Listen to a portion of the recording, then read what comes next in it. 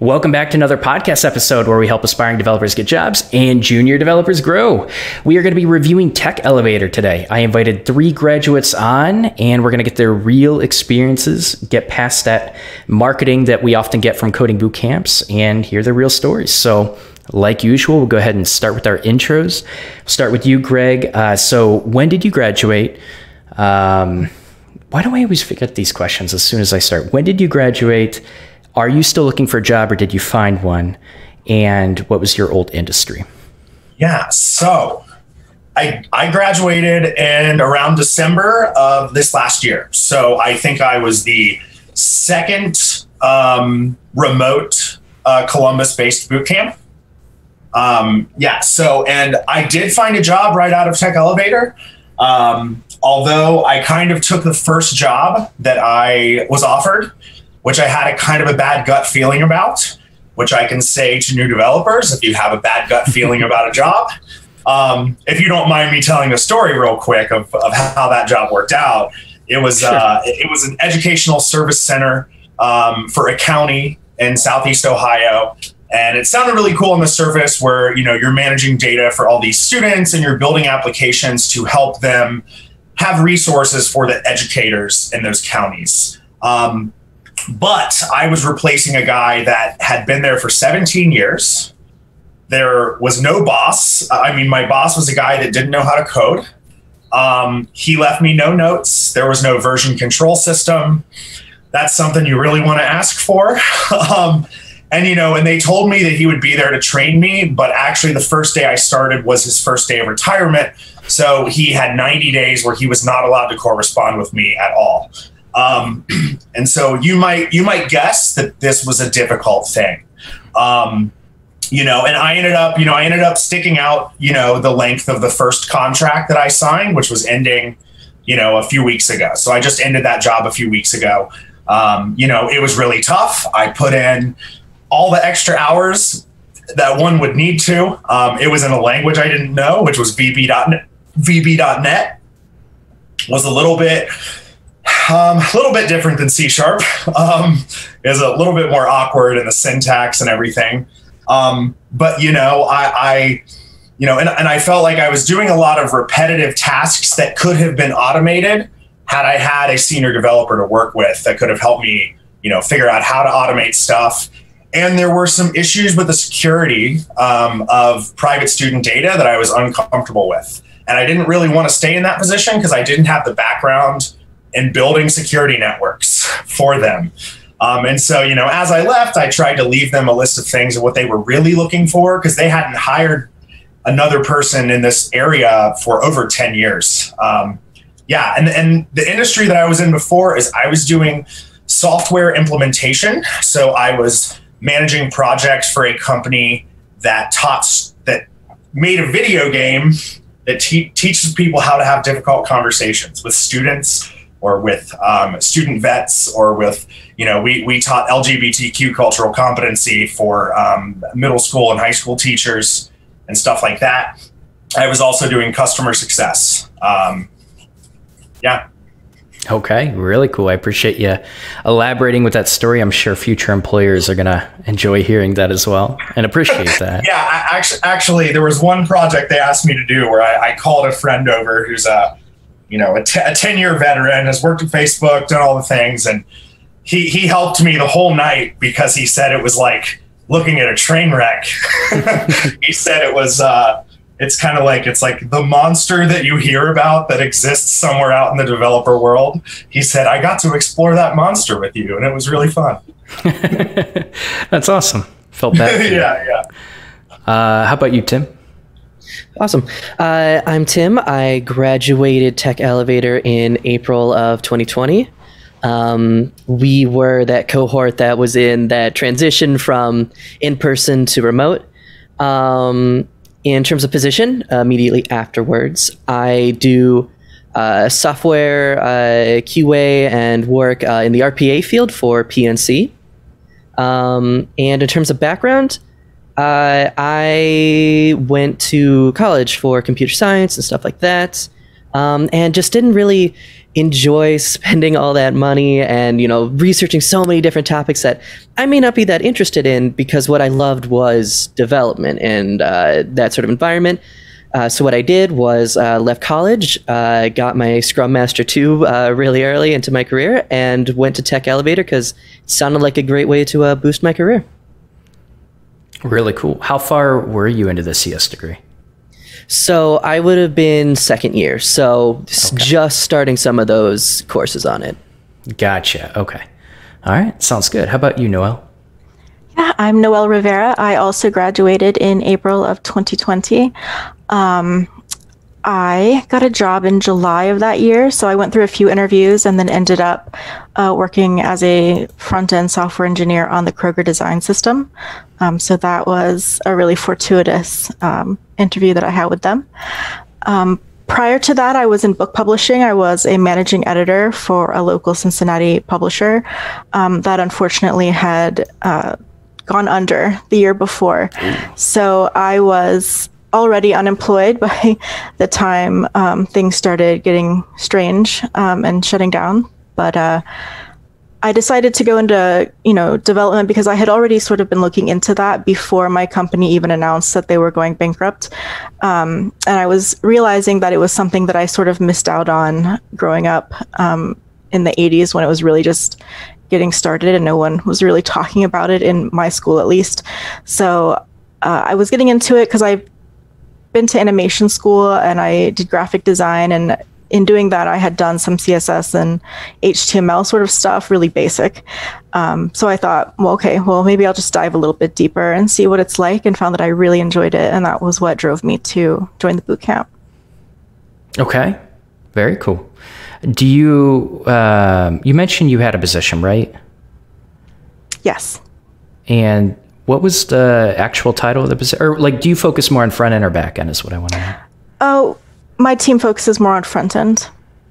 Okay. Do you feel like you being design savvy helped you get that role? I think it did. Yes. Um, I think my sort of unusual background in animation, graphic design, and publishing, so documentation effectively, really sort of laid the groundwork for that. Gotcha. Okay, cool. So, why do you guys choose Tech Elevator? And this is the part where we get to talk over each other. um, I'll jump in just because I get asked that uh, pretty often. Um, so, it was recommended to me by a friend who gave me a reference for someone who had been there. So I talked to him and I went to an event. And it's, I think, one of the two local Cincinnati schools. And I definitely wanted something I could go to in person at the time because that just helps me focus, you know, better. Um, and when I was listening to them, one of the things that really stood out to me, in addition to them covering all of the full stack items I was interested in learning, was their career placement and career development work. Um, because I've been to schools, you know, colleges and things, and sort of like, congratulations, you've graduated, you're done now, goodbye. And I'm like, okay, but now what? um, so it really mattered to me that they cared about placing us in roles and helping us make contacts and network. And so I decided that that was something that I liked about that school and picked them. Okay.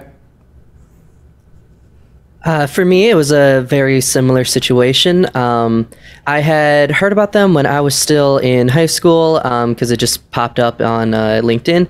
Um, so heard about it, then went to college, came back, and was kind of looking for to pursue some options. And I was like, oh yeah, I remember them. So I went ahead and attended an open house and uh, found out a lot about their pathway program, so the job placement, and that's what got me hooked was the networking and the uh, the strength of their program of finding you a position and some of those skills that go along with it. Yeah, they are um, still one of the programs. Do they call themselves a coding boot camp? Yeah. Yep. Okay. They are one of the coding boot camps that uh, remained on CIRR.org and still report to them, which I like to see. A lot of coding boot camps backed out of that in 2020. Um, didn't really want to share that data. So it was interesting doing some research. Um, I can't. One thing I can do is give them credit where credit is due. A lot of their data seems to match what they're advertising. That might be due to the Pathway program, but we'll dive into that later. Okay. Sure. Um, the reason that I chose it, um, I am a skeptic, and Me they too. seem the least suspect. like you know, when I did my research and and I thought, okay, well, here's all these options. Okay, look at this, look at this, look at this. Well, then I realized, you know, I really want to. St- I really didn't want to move out of Columbus because I have, um, you know, some of my best friends live here. I just got. I lived in New York for six years before I moved back to Columbus. Um, I was having a lot of trouble finding a job in my previous work. You know, there's not a lot of software implementation specialist positions in Columbus, Ohio. Um, so I felt very pigeonholed with that niche, and you know, and gosh, it was coronavirus hit, and I thought, you know, I need to learn a new skill. I don't really. I need to do something because I can't just sit around and collect unemployment because I'm just not that kind of person. And after doing research on all these different places, it was like, well, this one actually seems integrated into the Columbus community of software. Like it looks like they're it looks like they care about the local community. It looks like and you know, and they didn't seem to make they didn't seem to make any major promises that sounded like BS marketing language. Of course, they have the marketing language, but when you really dig deep into what is being presented, like I never felt any bad feelings about what was being said or what was being done. So I just kind of, yeah, went through. Okay. Very cool. And for extra context, um, I chose to bring on people that graduated with the uh, .NET program specifically. I think they also have a Java program, right? Yes. Correct. So we're going to be focusing on that. But what'd you learn? Okay, uh, so for me, uh, a lot of what I was learning was some more of the server side uh, information and security. Uh, they walked us through pretty much a pretty good, like, dipping your toe into a lot of subjects. Um, and for me, some of those later ones were the more important ones. Uh, granted, having the background in is a little bit different. So they did a I feel a pretty good job for those who were kind of coming into this blind or like this was their first foray into it because I had a decent amount of uh, individuals who are doing a complete career change in my class. And from the sound of it, the sort of beginning steps were pretty good, but it was kind of hurried along to get to some of the further uh, later information. And so once you got there, though, uh, it was it was some good. Um, dive so at least it's when you're looking for your positions or if you want to claim like oh i'm full stack what does that truly take you know did you like all of the subjects we covered and um, yeah they just kind of covered a bevy of subjects Yeah, and so and, and I can I can kind of lay out kind of the order of how the the classes went. You know, the first few weeks there, we were learning basic C sharp. Um, you know, um, and then we we learned how to make a pro, a command line program. You know, um, I think my first capstone was building a virtual vending machine. Um, and then you know the next step they took us through APIs. Or no, no, wait, wait, wait, wait. Next step was SQL. Um, they, they taught us SQL, um, and we used MySQL Server, um, and that kind of you know that linked into C Sharp, and then they taught us APIs, um, and then after that is where actually all of the programs do the same thing, where they go into JavaScript, they go into Vue.js, um, which is similar to React or Angular. I think I hear it's a little bit more simple than those. Um, but yeah, at the end of each of those little segments, you have a capstone that you build together. Um, usually, you know, team coding with somebody. And yeah, I mean, I would say I came into it only knowing SQL beforehand. Um, and I only knew SQL through like another system anyway. Um, and I would say it was the best learning environment I've ever been in um, because it forced you to know stuff. if you didn't, if you didn't pay attention for two days, you're you're dead. um, to be to be for to be forward with it, you know, you could not slack off. Um, and that was something I, I had a lot of. That's kind of what I struggled with when I was in college, um, because um, you know I was I never really learned how to study um, growing up in high school because I was valedictorian and I, I didn't have to go out of my way to be that. So when I got to this coding boot camp, it was like, oh my god, every single night I really do have to put in my three or four hours. and there were people are ava- available for me to talk to. Um, and my my my co stu- my students, my cohorts were the best co students that I've ever had in my life. I've I'm still friends with many of them today. It's good to hear. Anything you'd add or change, Noel, with your experience? No, uh, Greg laid it out exactly the way I was going to lay it out. um, yeah, that exactly the same. I think the only thing that was a little bit odd for those of us who graduated in April of 2020 was that we spent half of our time in class and then suddenly we had to go virtual all of a sudden. So it was a big turnaround, but they did a really awesome job of keeping everybody um, together. And, you know, we would all stay online and work together through the projects and problems and things like that. So uh, it was really, really well handled despite the sudden change. And, and I'll, I'll, I'll, oh, sorry, go ahead. Go ahead. Um, no, go oh, ahead, was, Greg. I was just going to say, I have to give extra kudos to this guy, Matt Eland, who was my main professor, um, main instructor for my class. He was available every day until 6:30 p.m. Then he would have dinner with his wife, and then he would be available from 9 p.m. to like 11:30 p.m. After that, um, if you wanted to poke him, occasionally he'd be playing games at two in the morning, and he would still respond and just tell you he's tired. And you could you could show up to class 30 minutes early and have discussions about the homework with other students. I mean, you I've never really felt so much individual care placed um, on on a learning environment, um, at least when it comes to the uh, coding material. Okay. What were some of the challenges that you faced when switching to remote, where they might have struggled to just transfer that over?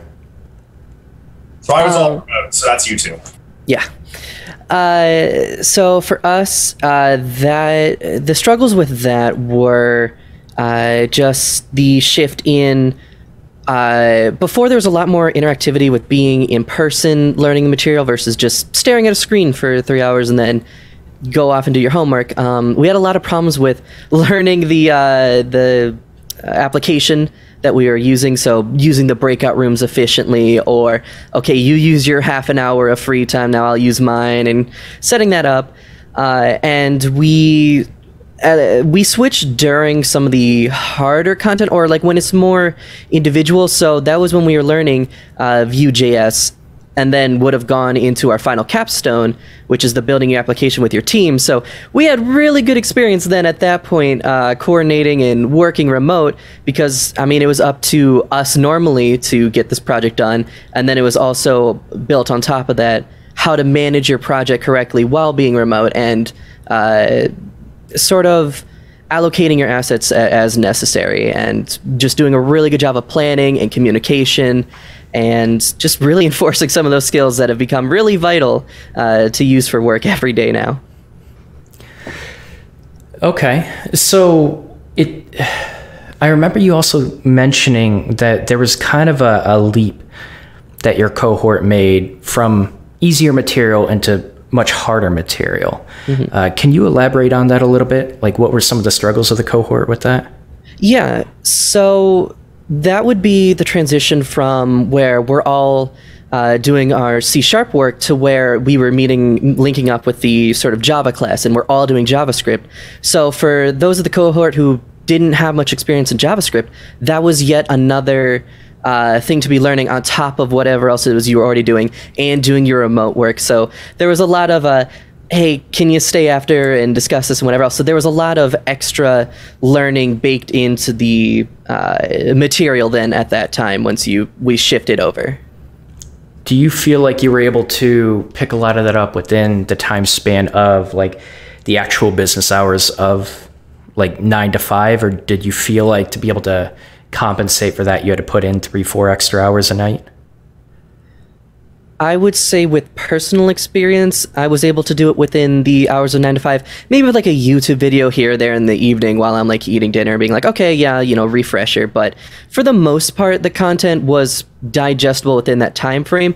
It's just sometimes within that time frame you were allocating towards actually working on your project, and then you might have to shoot a question afterwards because you're like, oh, I was so you know dialed into what it was I was doing, I forgot to ask my, uh, you know buddy like hey what's what's going on with this? So um, i think it is digestible within that amount of time but i also feel like it kind of comes from your comfort level with the material. Uh, what what did it take to get in? What was the interview process like? We took a short uh, sort of pre-test online uh, and if you pass that, they would call you in for an interview and an additional longer test. Um, I don't exactly know what the criteria, like the rules were on their end of things to like make the decision whether or not to call you to admit you or not, but it did require like a sort of a logic test and, an, and a personal interview so they could get a sense of who you were and why you were doing it. And the yeah. logic test didn't require any syntax knowledge? No, no, it was all general sort of um, problems. It was not code specific. And they wouldn't they wouldn't tell me which question I got wrong on the longer tests, and I'm still mad at them for that slight. But that's okay. that's okay.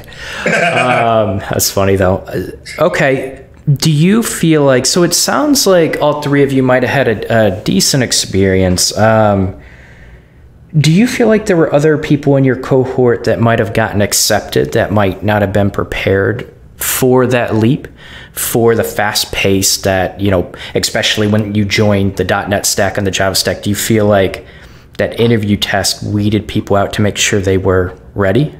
Now, so so our and I remember in our class specifically because we had two Java groups and one C sharp group. And out of the Java group, there were some people in Java that ended up not finishing.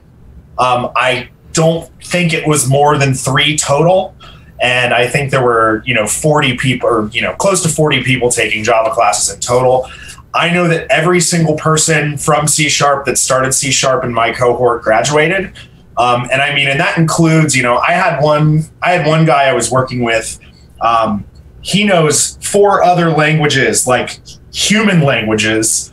Um, English is his fifth best language, and he was able to learn C sharp um, with English as his fifth best language. And you know, he and I worked on one of our capstones together, and there were little bits of you know communication issues English wise with him. But when we really, really stuck it out together, I mean, the guy was grasping the material. And I um, really think that, you know, uh, yeah, I think they did a really great job of kind of parsing out who should have been there and who shouldn't have been there. Um, I, I, was really, really happy with the C sharp class I was in. Okay. I would, I would mirror that and say that, from what I recall, of everyone who was admitted into our class in Java and C sharp, I think two people left, and they both left within the first week, so they didn't like drag it out and then not graduate. Everyone who stayed graduated. I'm not sure exactly if everyone got placement because I didn't keep up with everyone, but um, but they did all graduate. Okay. Yeah, uh, similar experience. Um, I feel like most, yeah, we only had a few people drop out for various reasons. Uh, a couple people even switched within, like I moved from uh, C to Java or Java to vice versa. Um, and I definitely feel like some of the testing and their uh, guidelines for how we accept people aren't necessarily just on technical aptitude, but it's also almost like a perseverance thing because there was definitely uh, some cohort members where necessarily like their coding was it was okay it was it was enough to get them through the course but their vigor for wanting to learn it and be better or ask those questions and uh, really strive to do this is what kept them there and kept them going and uh, got them in in the first place. Yeah, I, th- I think I think maybe, and you know, when you ta- when you asked us, you know, what did you learn? I think maybe beyond the specifics of what I laid out of the pieces of the cohorts and what you do, they were teaching you how to teach yourself how to code as well. So you know, um, you know, one of my as soon as as soon as the cohort was over, one of my classmates, William, he got a Python. He got a Python certification in four weeks. Um, you know, that was like, you know, kind of he had an insatiable appetite to keep going. Um, and I think that was really the most valuable thing um, that that they really taught us, which is how to teach yourself how to code. Yeah, I think that makes sense.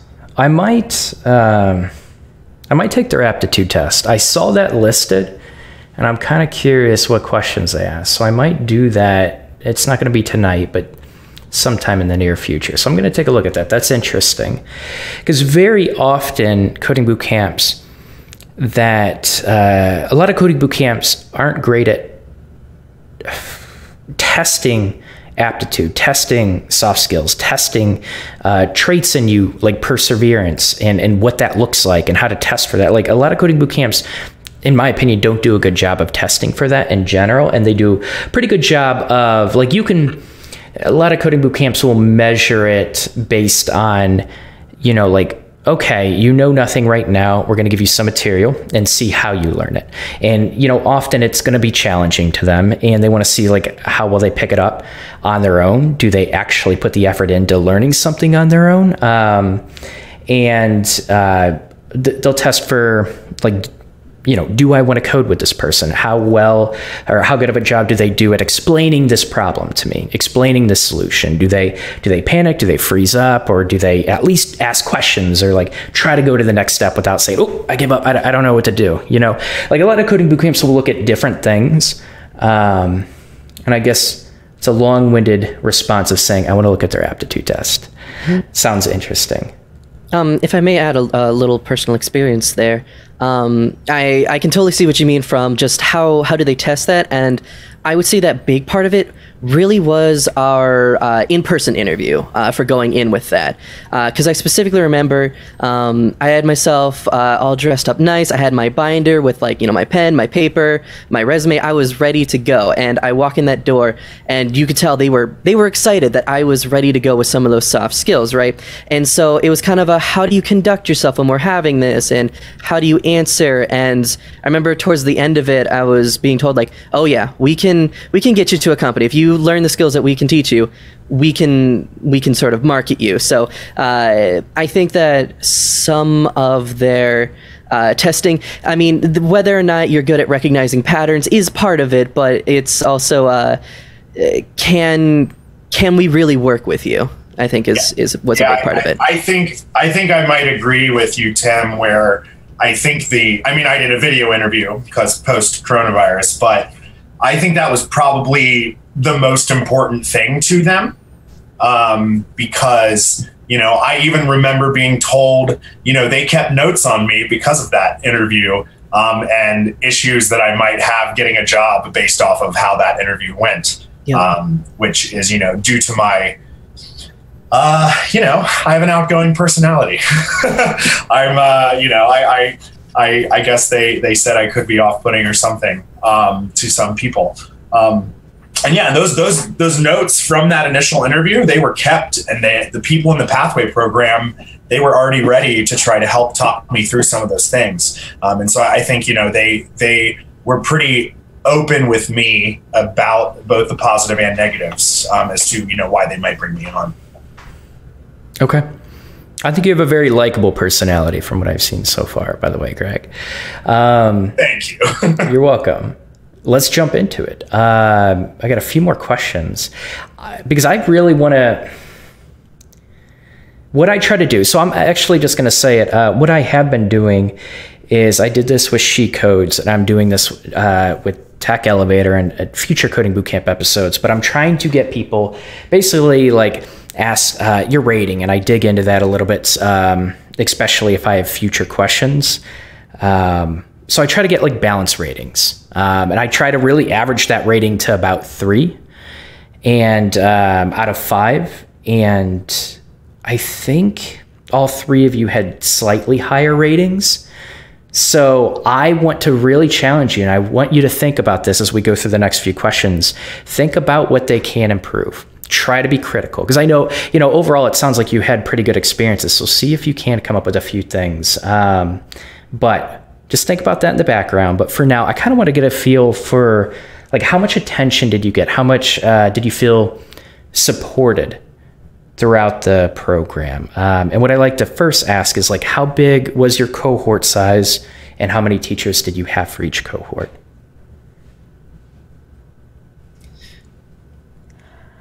My cohort was, I don't even remember the number of students, but it was a small number, like not more than like 13, I think.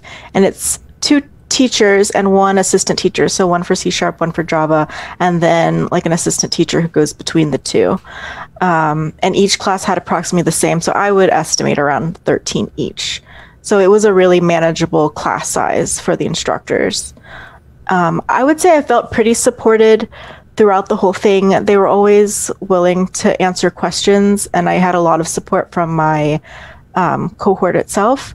Uh, I think I could have used just a little bit more. I hate to say the word hand holding, but I'm going to say the word hand holding.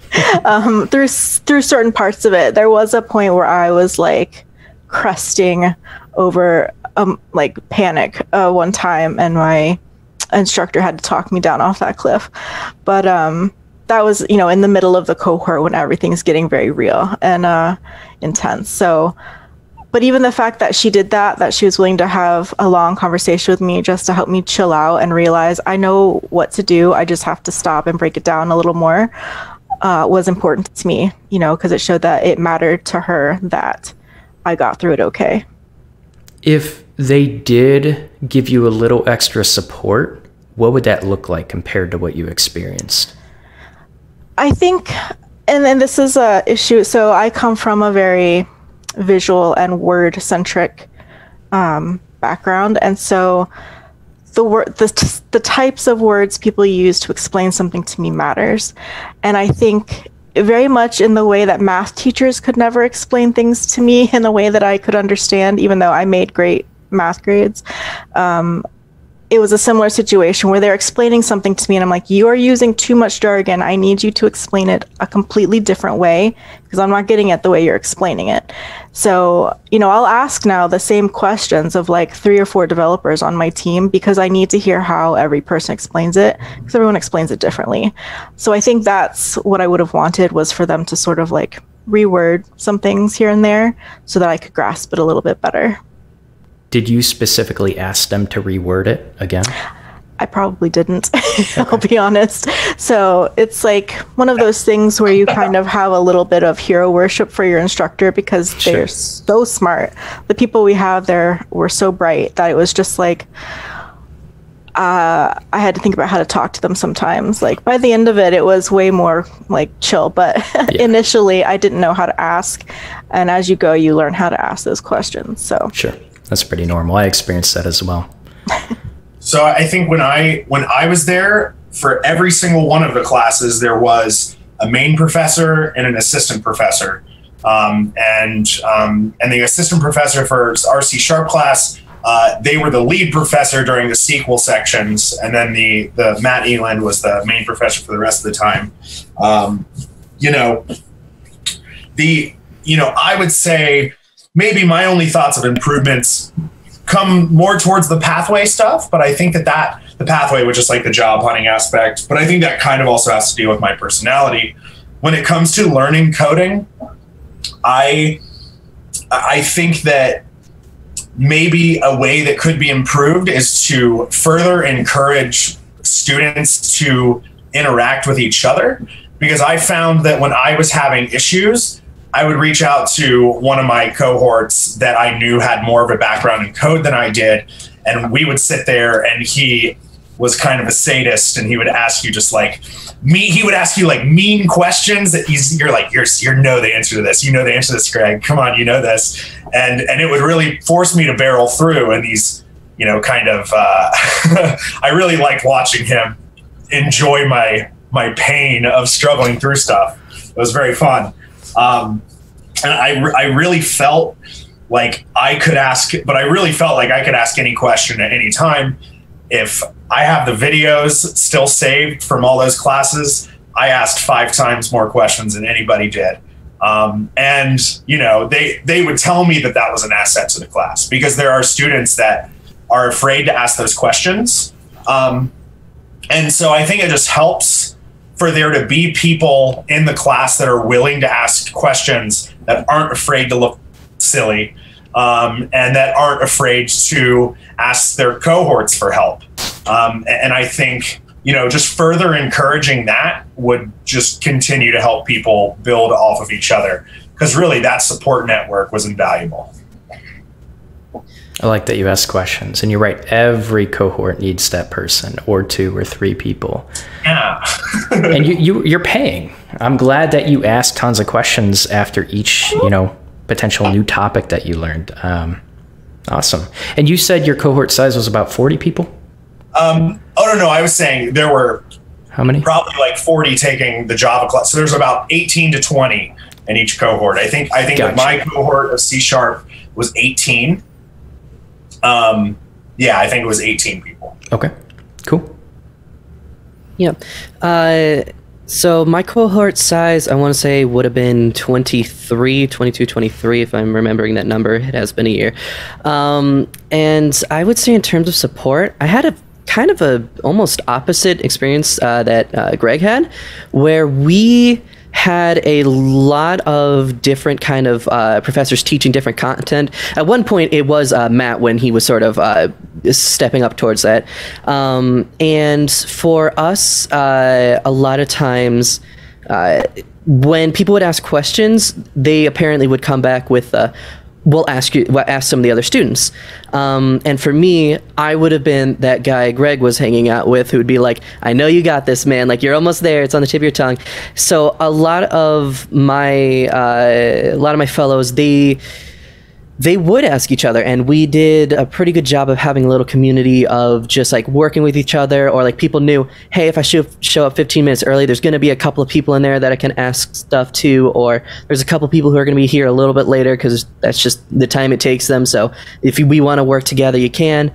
Um, we definitely had a pretty good support network. Uh, it was there for you to use it um, if you had the chance. Uh, i would say the only thing like improvement wise is just sort of the dynamic of at least uh, in a context or two they wanted you to ask for help but then when you would go for that help there was a lot of people who were reporting like okay so i come to you for help because i'm confused and you tell me okay well go back and try it again or just ask somebody else and it's not counterintuitive it's just kind of passing it to oh keep working with your you know your cohort but at a certain point, they also need to work on what they're doing versus just fielding those those questions. And Tim, we might we might have had different experiences just because I can say to anyone watching this, thinking about being a tech elevator, whether it's Java or C sharp, whatever class Matt Eland is teaching, just go to that class. yeah, no he's joke. great. No joke. That man is that man is a a uh, yeah that that man is the best. He's an I, awesome resource. I would fight. I would fight for that man if there was a war and he was on. You know, if he was some sort of general. I don't know what we're fighting for, but I'm backing him. Um, and yeah, if you can if you can get into Matt Eland's classroom, because I mean that guy that guy almost never told me to go talk to somebody else. I mean that guy, you know, unless he knew that I knew that I could do it, um, which I think is a really that's a really tough thing to balance as a teacher. Um, and Tim, it sounds like you know you guys you guys had you know varying professors all teaching these different things constantly. And but when you have it kind of like how I had it, where I had this long-term relationship that I got to develop over 14 weeks with one guy and his assistant John, um, you know, I, you know, we really got to know each other and he got to be able to really understand the balance of when to really help me and when to go tell me to figure it out. Um, and, and, i think that that's you know that's the thing that's really hard to find in an educator almost anywhere. And so tim i'm, I'm glad you brought that up because it sounds like people would love to be taught by matt. That would be ideal. That'd be perfect. But not everyone is going to and there are multiple instructors. So I mean, I can guarantee you coding boot camps watch these episodes and hopefully they do take that feedback seriously. And Matt can be a shining example. And I hope they, they probably already do, but I hope they use him to illustrate, you know, kind of the ideal instructor. He might have flaws and not, you know, don't, don't follow him blindly, but um, still, like, that's really good feedback for them. So, what would you, if someone was, let's say they're not getting taught by Matt, and they have gone to the instructor they've struggled. So i would argue like if you're struggling for 30 45 minutes on an issue and you're not moving anywhere that's a really good opportunity. You know like you said other students are working on other things. You can't keep going to other students. That's a good opportunity for the teacher to step forward give them an unblocker so they can move forward. They don't have to give them the answer but just something. Um, what advice would you give students that experienced your situation and still felt stuck? I would say they actually told us if you're stuck on it for 15 20 minutes come come see us and we'll you know see if we can get you to the next thing. Um, so i would just say don't be afraid because i think some of us would just be like real stubborn about it sometimes and keep going despite the fact that we should probably just go into the instructor but i would say just go to the instructor I know that sounds so simple, and some of us were initially sort of like nervous to talk to them, and some of us, like I said, would be stubborn. But um, I think at the end of the day, they know what they're talking about. They know that's the amount of time that you should wait to keep working on it, and just don't overdo it because then you're wasting your time a little bit when they're there as a resource for you. Um, so just you know, don't be too stubborn about it. There, there were a couple instances. You know, my my other professor, John Fulton, um, where you know um, making sure to raise your hand and ask these questions uh, during class and then try you know trying to get feedback from all those other students that are currently in that class well how many more of you are still having trouble understanding this there were a couple of instances where there are four or five of us that are just going hey we're confused um, and you know after class you know staying in the same room together and kind of going over that thing with the professor um, you know that that sometimes uh, that did happen a couple of times, and I think that's I think that's that's like a really good resource is to kind of and then you know we all had this group Slack, so you could kind of just go in and ask, hey, is a are a bunch of other people struggling with this one thing, um, and you know kind of collectively ask for an additional class meet um, for for those struggling. Okay. I think that's pretty good feedback. Um, all right, let's move on how well do you feel like you were prepared for a professional developer position when you graduated? Uh, in my experience, I felt I was really prepared in not necessarily content, but in sort of the, again, soft skills of how am I going to overcome my tasks? How am I going to ask people for help? How, how do I self teach myself something new?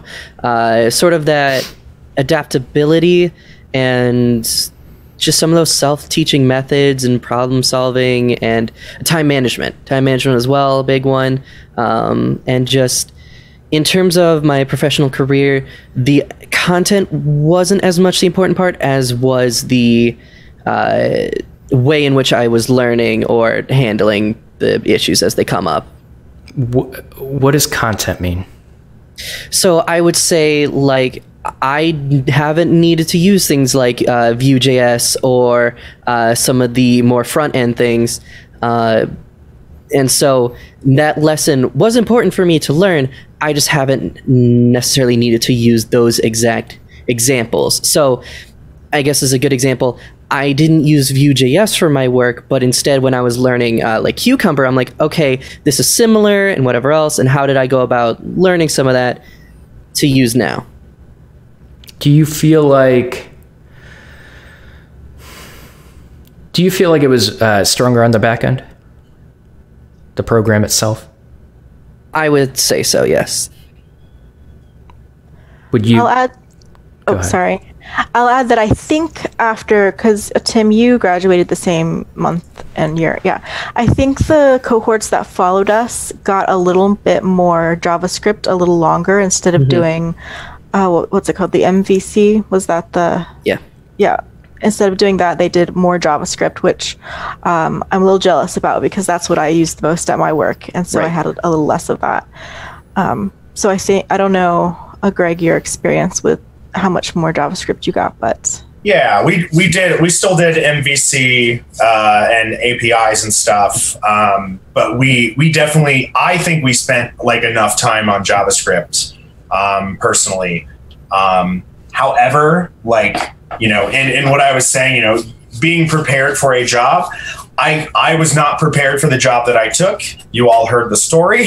um, how, however, um, you know and now and now because i was trapped in that cycle of learning this vb.net which almost nobody uses um, and dealing with data systems that were not did not have much integrity in how they were put together um, i am personally struggling in finding a position now um, because i felt like i spent six months doing something that was not building up my skills to where i can find a position right now. And i'm you know, I'm I'm um, you know I'm having a little bit of struggle on that end, and you know I've I'm um, you know I ended up going to, to freecodecamp.org um, to just restart my JavaScript learning, which I'm blazing through it, but um, I, I am kind of having to reteach myself JavaScript because I spent so much time away from it. And I really should have taken a lot more of the advice of code, code, code, code, code. You know, keep following through. And that's something they tell you at the very end. They say the best thing for you to do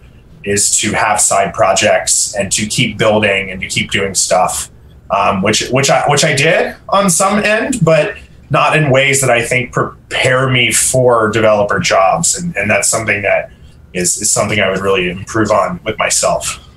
Okay.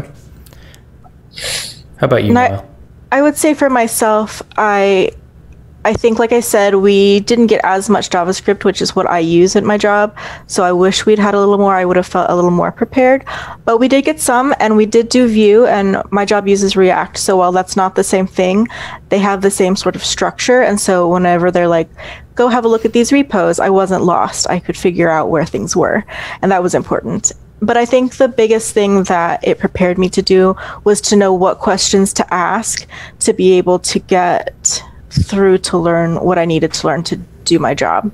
So, you know, I didn't get exactly the same information that I use at uh, Kroger, but I do know how to find out what I need in order to to do the stories and the assignments. And I think Okay. that's something Noel is like kind of it's like impossible to do in 14 weeks, really. Uh, do you know what I mean? To teach to teach everything that we could need to use in a, in a developer job, and I I think that's kind of what's what what part of what makes this um, an, an important thing to, to keep up on our on our own after the coding boot camp, and to, to keep expanding skills on our own after the boot camp because they did teach us really how to do that. Yeah, absolutely. Um, how long did it take all of you to get a job after you graduated? three months for me. I did several interviews. I did the matchmaking. That didn't pan anything out, but uh, at the same time, that was exactly when everyone was shutting down. So I would give a little bit of leeway for that. But I did get called by the company I work for now as a result of the Pathway people giving them a select number of names, I think, of people they thought would be a good fit for positions. And um, yeah, and so that's how I got contacted and then went through the interview process and ended up getting one of the two jobs I was interviewed for. Okay. Uh, for me, it would have been about four months. Um, not too long after the program, uh, I had an interview uh, with PNC. It just was kind of a hiring freeze. So I did a lot of interviews pretty early on that did follow up eventually, which was just, again, a little bit of leeway with the, yeah, all right, the hiring freeze did happen. Yeah, I, I got my job about a month after graduating, um, but I was in a living situation where I was living with my family for that short period of time, and it was kind of like uh, you have to take the first job that you get, or we're kicking you out. Um, so yeah, I mean, I just took the first job that I got. Um, but there were other other things coming through, and I, you know, I, I wish I would have held out a little longer. But yeah, it took about a month. Okay.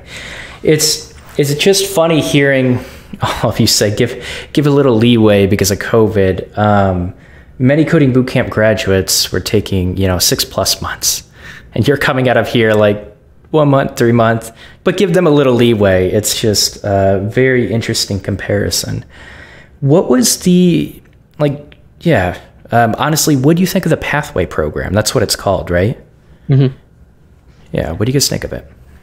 I personally really liked it and I appreciated the work that was put into it. They have a team dedicated to Pathway. Um, so they help you put your resume together, they review it, they have other people review it, they help you work up little sort of personal speeches, which just kind of convey the most important aspects about you. So that if you were to meet an employer at a networking event and you had to summarize yourself in a marketable way as quickly as possible, you already know what to say.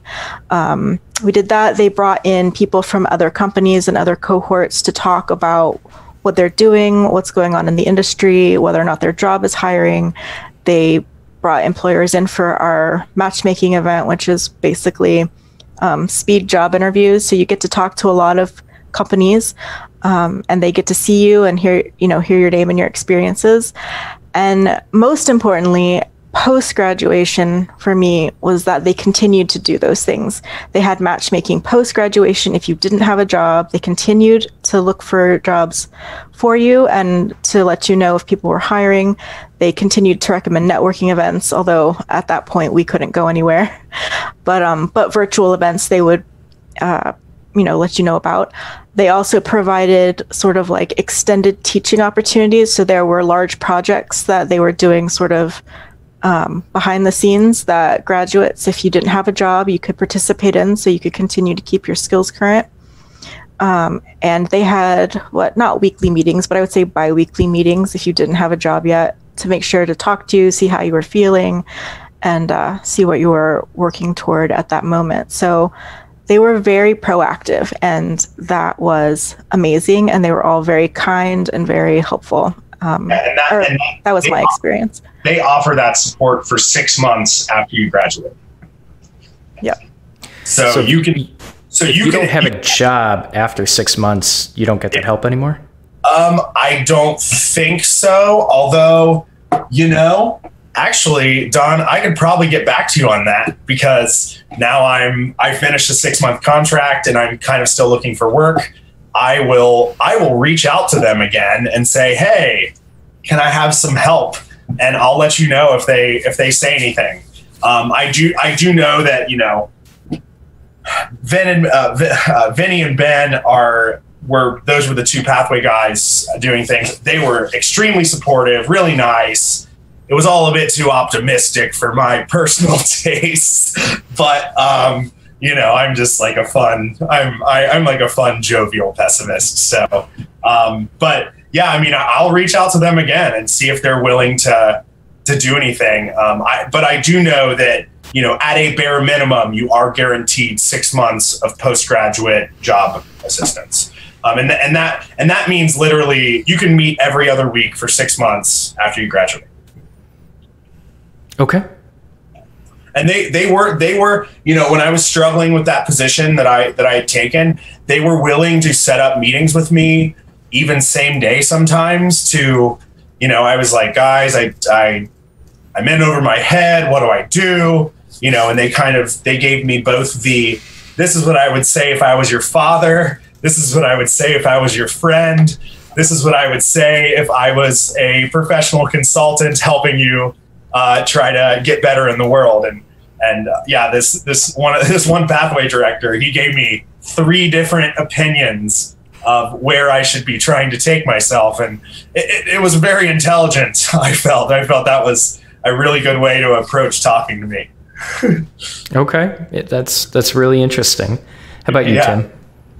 Uh, so my experience uh, would be that I think they did a really good job of just uh, keeping up with kind of how your job search is going and like really giving you like every opportunity they could.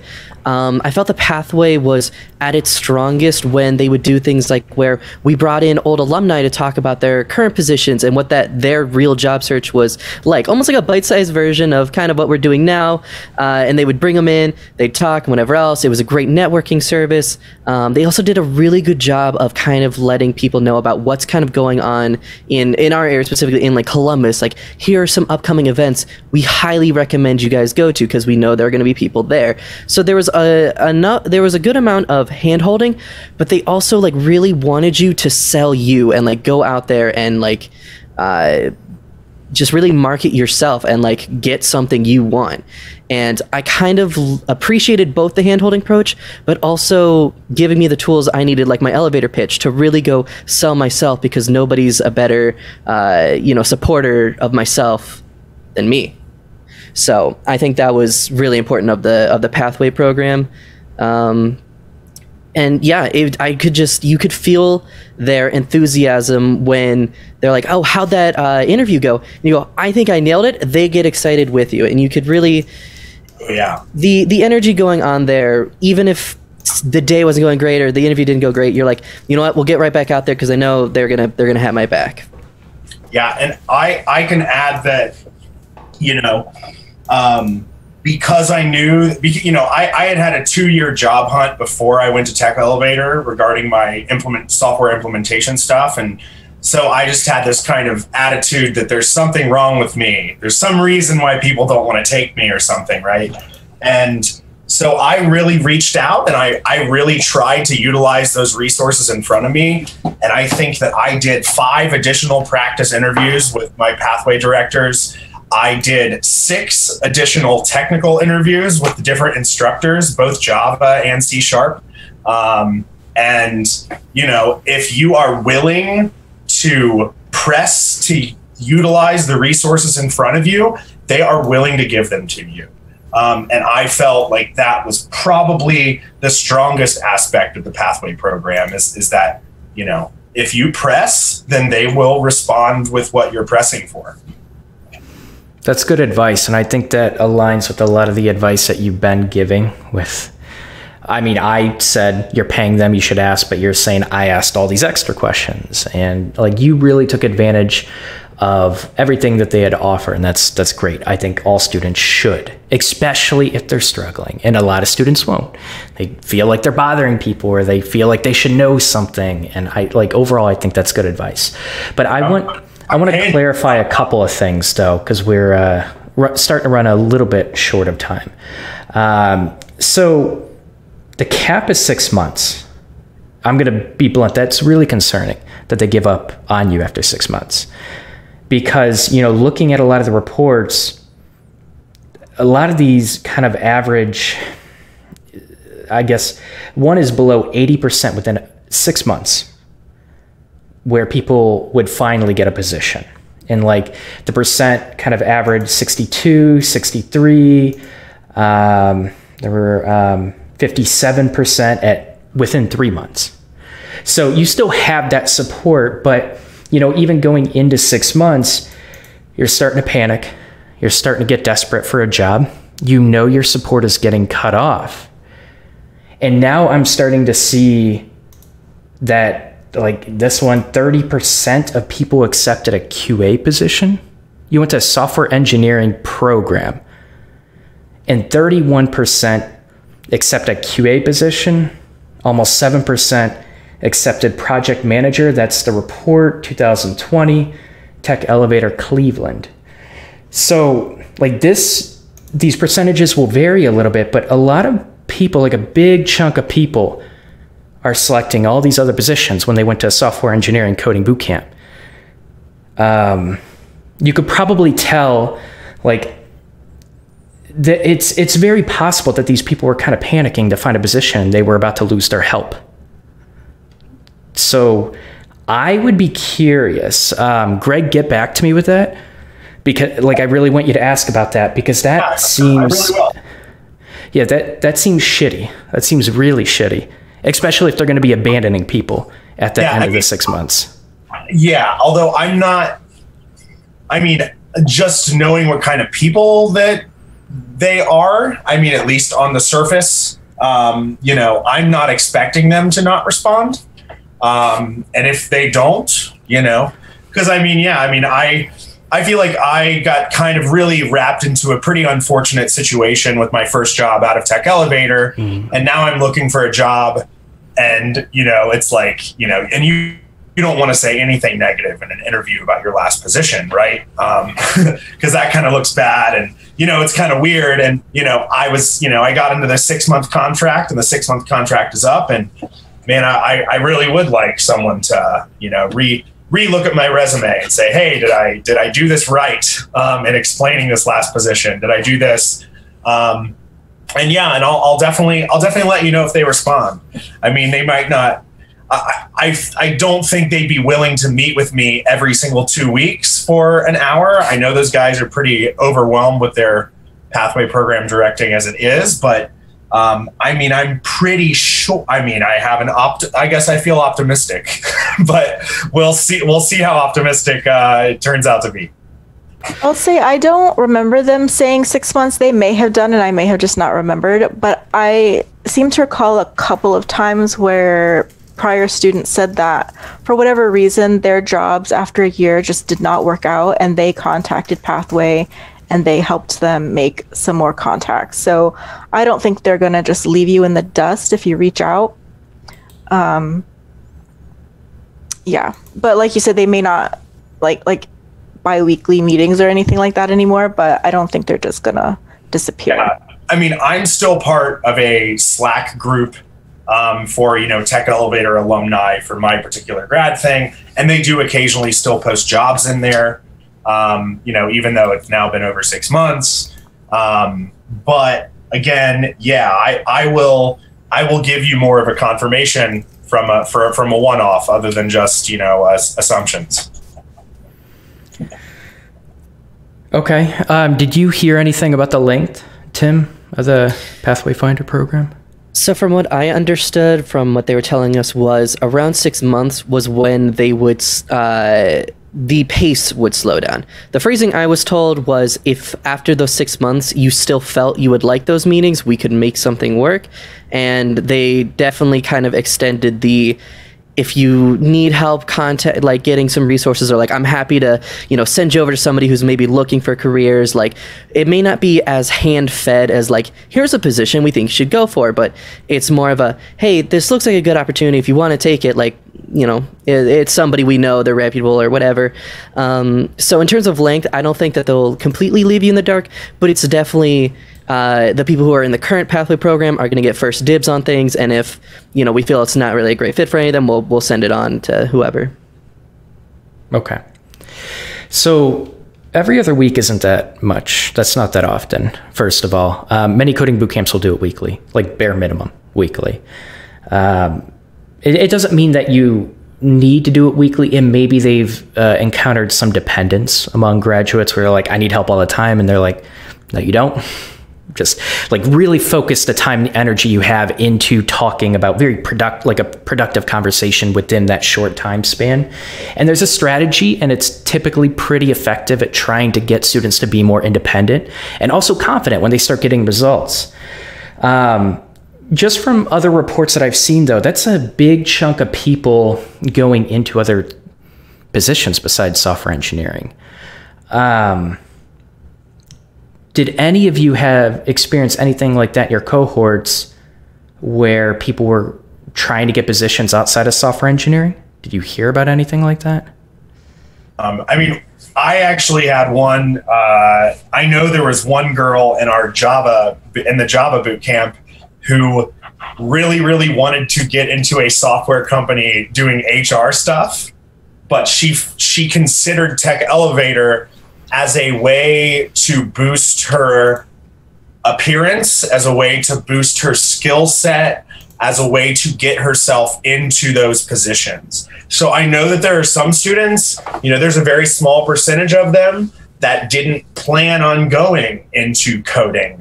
They wanted to take the coding boot camp because they knew that it would make them look better at a software company. um, because you know some of those positions are so competitive that it's like, oh well, we can't. Oh well, we'll hire this person to you know help in our HR department because she also knows how to code and we're a software company. Um, so I know that is a small percentage of people doing that stuff. Okay. All right. I won't. I won't talk much more about this. Um, I'd be really curious. Please get back to me and let me know if they do help For you sure. out. Um, so I've heard a lot of good things about tech elevators so far. I have, and it sounds like you had pretty decent experiences. In my experience, a lot of software engineers, when they don't have confidence or they're not getting the right support, they will go into QA saying, "Okay, I'm closer to being a software engineer. If I get QA, you know, maybe I can get onto the software engineering team." And in reality, that often doesn't happen. People typically hire you for QA, and they train you as QA why would they want to transfer you over? And some people do transfer over eventually. Like you really have to spend a lot of time outside of the actual job to build up those skills and transfer over. And you have to prove that you're, you're going to provide a lot more value in this department versus QA. Um, but a lot of people will move to QA, and I see an analyst as well um, when they're not finding a position because coding boot camps are expensive. You often go into debt. I got to get a job quickly. Greg, you have your situation, other people have their own unique situations, and there's a lot of financial pressure to finally get that position. And so, what can happen is sometimes like that position requires extra time, it requires a lot of your energy ramping up, you're exhausted. I don't want to come home and code, I don't want to keep searching. I finally got a job and I just want to relax right? We're only human. We can't, we're not robots. We can't keep going. So even if they slow down, like they don't put you in the dark, but even if they're slowing down, that's really concerning that they're doing that. It feels like they're getting really cheap there and they're kind of, they're, they're basically telling most people from what I've, what I see with the data is, you know, you're kind of on your own and for what I've heard from you as well. Um, they might give you a little resources and stuff like that. But I find like the real value if people are really struggling, you need to offer that one on one. You need to hop onto a Zoom chat. You need to like really talk through what they're going through. You can hand out resources all day, but if they're not, they don't have the right habits and they don't have the right uh, constructive day to be able to utilize those resources and get them closer and build their soft skills and have people checking even their code. Are they improving? If you don't have those checks, it's almost you it's almost like you're not helping them at all that that one-on-one is like the most helpful thing that you can do um, so get back to me i'm not going to dive more into that i'd be very curious about it Yeah, Um, yeah. but the last question i want to ask is what would you improve about the program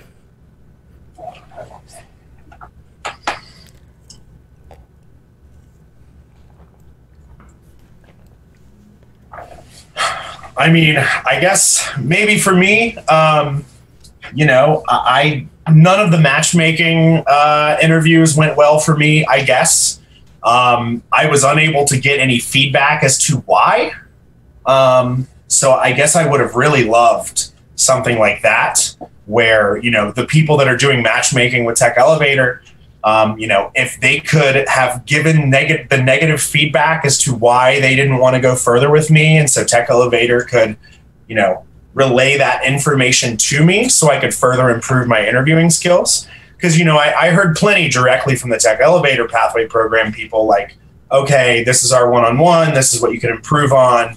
Same thing with the technical interviews with my professors. Um, but I never got any direct feedback from a company as to why I was not wanted to why why they didn't want to further look at me and i think that would have been probably the most valuable thing that could have been done for me um, just because of you know the the my history of struggling to find a job before tech elevator.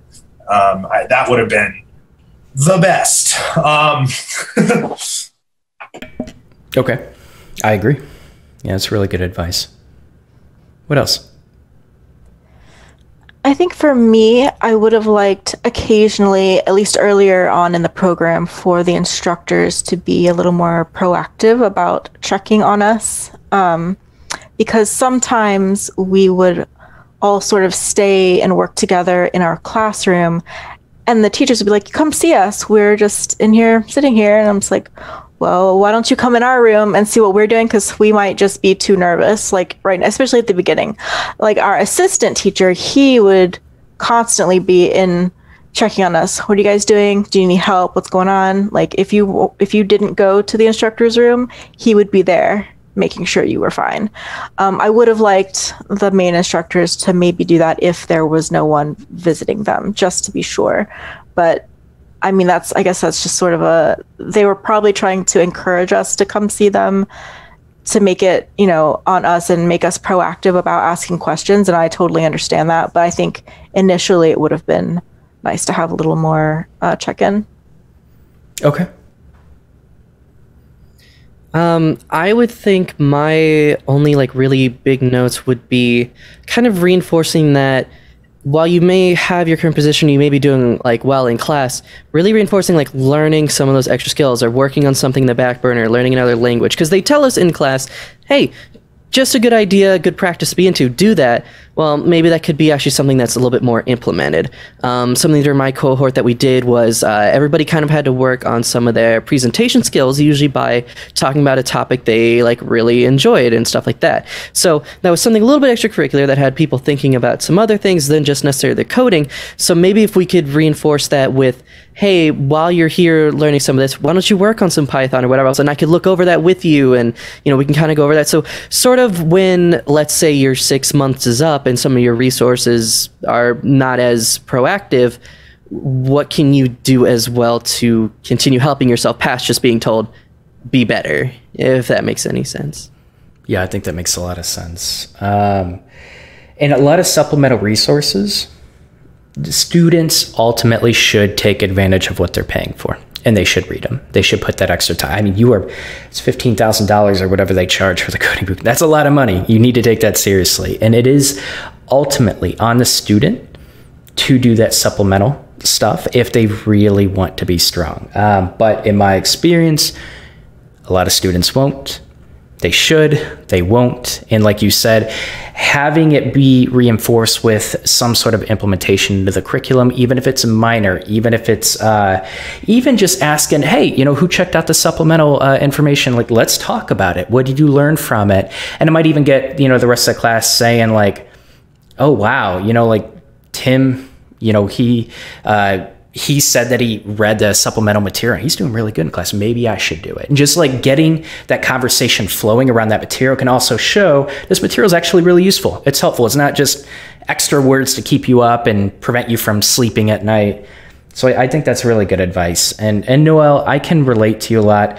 Um, I remember, I think a lot of people can. I remember just being it, it, was it was a stupid fear to have, but I'd be afraid to ask the teacher for for many different reasons, like throughout, and especially in the beginning because that was the first time I visited Chicago. Well, no, I, I, have in the past, but that was the first time like I was in Chicago constantly and like all new people, brand new city. It took me two and a half hours there, two and a half hours back. I'm exhausted and like don't even know where I'm at.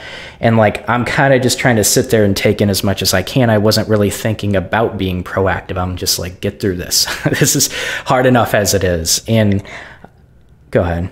Oh, I would say, and also, you know, depending on where you're coming from, at least for me, I'm coming from a job where I was a manager. I was closer to the top than the bottom. And so to completely reorient my mindset to remind myself that it's okay for me to act like I don't know what I'm doing was something I had to like get back to. You know, it's like, you know, at my job, acting like I didn't know what I was doing was not okay at my level. But in the boot camp, it is because you don't know what you're doing. It's totally new. You're starting a completely new industry, and people coming from maybe a position like where I was coming from just need to be more understanding with themselves and know that they understand that you're going through this as well, and it's not a big deal. Yeah, and we in, in my cohort we we had a couple personalities, Noel, if I may say that sounds a lot more like you, like you know, not wanting to speak up if you're confused and things like that. And those kinds of people, I think, would help them in the end as they generated their own community of people that would meet together after class to do homework together. Um, you definitely know, people, did that. The people that were afraid to ask the professors, they weren't afraid to ask each other. Um, but me, of course, I'm unafraid of looking dumb all the time. Make me stupid. Review my code. Tear me apart. I'm done. I think that type of personality comes out with much more with a program. And I, I, think that's a good lesson for people. So, you know, that's pretty much it. I think, you know, I'll do a really short summary. Um, it sounds like a pretty strong program, strong on the back end. Um, a little bit less on the front end. Maybe they improved it. It sounds like they probably have seen a deficit in the front end, and so they're trying to focus more on JavaScript. So they're paying attention. They're probably getting student feedback. That's that's all great. Um, you know, .NET typically is going to put you in more enterprise companies, larger companies, and um, you should know that going into it. Doesn't mean startups don't use it, but typically that's where I see um, those stacks used. Uh, it sounds like the teachers are like caring, they're helpful, and they're supportive, um, and there are instructors that need to improve, just like any other program. Like it all sounds pretty normal, and it sounds like they're they do care about you and they want to help you. Pathway program is something that was exciting me. Hearing about it, it sounded pretty strong, very supportive. Um, I really do think they're dropping the ball by cutting that six months, even if it's a soft cut.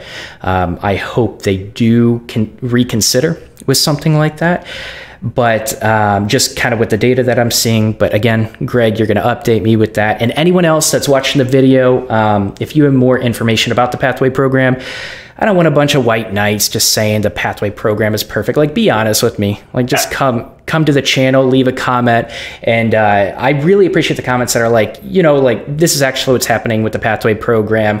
Um, I can you know see your concern but they actually do help in this way this way and this way. Like the more information that you provide the more value your comment actually has and people will seriously consider it. Um, go ahead greg. Oh i was i was going to say yeah i mean I, I you know i'm uh yeah i mean I'm, I'm not like trying to speak ill or even positive really when i talk about that. I'm just kind of trying to say that is my perception. Mm-hmm. um, and, and i will i will i will give you less perception and more information once once I reach out again. That sounds perfect. And just for context, I'm very critical. I'm critical of all these programs, and you guys have not given me a lot to be critical over. So maybe I just had to get it all out with a pathway program. Well, I'm I'm uh, I really appreciate. I mean, I think you know it's I'm I'm appreciative I'm appreciative of what you're doing, Don, um, because I think a lot of these programs do need to be looked at with a lot of suspect um, I, as I said, you know, Tech Elevator seemed like the least suspect one. Um, and I, I, feel like I got, you know, I feel like I mostly got my money's worth, my family's money's worth. um, but I, I but really utilizing uh, it. That's what's important. Yeah, I feel like it was. I feel like it was worth utilizing and, and worth taking in the end. Um, but yeah, I I appreciate that you are looking at groups with suspect um, because these people need to be grilled. There are a lot of very, very uh, sketchy programs that I looked at before choosing Tech Elevator. Uh, don't even need to get into those details, yeah. but I'm sure you know about some of them. Just watch a few of my other videos. Um, yeah. yeah. Well, I appreciate that. Thank you. Um, well, that's it. We're at the end of the podcast. So let's go ahead and jump right into our outros. Uh, Greg, if people want to reach out to you, where could they reach you? Yeah, so I'm I'm Greg Murphy, uh, and my LinkedIn is Greg Murphy or Greg Murphy five seven. My email is greg.murphy.oh at gmail.com as well. Um, you can also reach out to me. I am a freelance creative project director, um, creative project manager. So if you are a artist who is writing a book and you can't get that book done, if you're an artist who is you know, drawing some pictures and you're unsure about your sort of artistic direction and what sort of arc that you're trying to pursue, or if you're a musician or really any medium, mediums that I don't even do art in, I am a person who helps creatives finish things because I happen to finish things myself and I apply, uh, you know, project management principles and do all this other stuff. And it is a fun, fun, fun passion of mine some people pay me. Sometimes I do it for free if I like your project enough. So um, feel free to reach out, you know, as as well, um, just kind of as a, as a passionate uh, love thing on the side. Okay, sounds good. And yeah, and I am currently looking for work. I've got a couple of really good prospects going on right now. I'm deep, deep into reteaching myself JavaScript so I don't look stupid in a tech interview this coming week. Um, but yeah, you know, I am looking for work. And if you feel like you might not hate working with me, I would love for someone to reach out. I'm sure people would love to work with you. And uh, good luck with the interview. Thank you so much, man. Sure. How about you, Tim? Yeah, so uh, everybody can uh, reach out to me on my LinkedIn. Uh, I'm Tim Heckler. Uh, love hearing about opportunities or just general networking with people to be able to do cool things like appear on podcasts or whatever else. And uh, yeah, that's where you can find some more of that contact information there. It sounds really cool. Um, what? Sorry, elaborate on podcast. Oh, just like that, uh, you know, through me having my LinkedIn, I was able to appear on this. You reached out to me. So it's just opportunities like that. Okay, I was thinking you had the email that had podcasts in it. I actually, I, I was thinking like Yeah, you had do. a podcast. No, no, no, no, no. I don't have my own podcast. It's just my own domain. It's okay. Okay. Um, damn, I was going to listen to it. All right. But uh, thanks for sharing. Really cool. And glad to have you on. How about you, Noel? Uh, yeah, you can get me on LinkedIn at Noel Rivera. My name is Noel Rivera on LinkedIn, so you can find me there. Um, I also am on Twitter and Instagram at Classica Noel, where I primarily do book and art related content. Um, I am a writer and an artist, and I am also an editor still on freelance. So I keep track of all that stuff on my LinkedIn as well as my software development uh, career. Okay, really cool. All right, well, you know, stick around for a couple minutes after the podcast, but you know, thanks for watching. Let me know what you thought, and let me know if you're considering Tech Elevator and, and what you thought of it. Any future questions you have, maybe people can answer them in the comments. And podcasts like this, um, all my episodes are pretty much, you know, paid for and supported through Patreon, or you can even just click the join button underneath the video if you're subscribed. Super helpful. You don't have to do it, but thank you for everyone that does support me. Um, Greg, Tim, Noel, thanks so much for coming on. Thank you. Thank you. We believe.